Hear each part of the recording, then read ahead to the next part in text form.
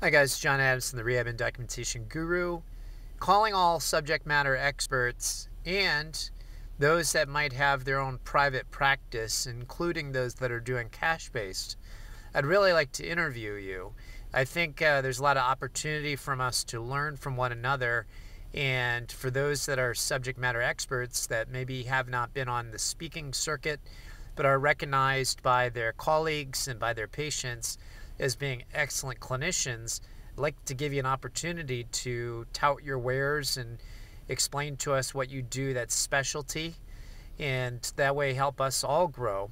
And then for those of you that have their own clinics, you know, with the current reimbursement rates and structures that are going on right now, um, if you have a successful practice, uh, that would be great for us to hear from you how you go about doing that.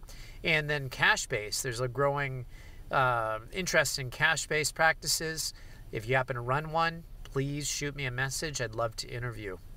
Anyway, John Adamson, the Rehab and Documentation Guru. Take care. God bless.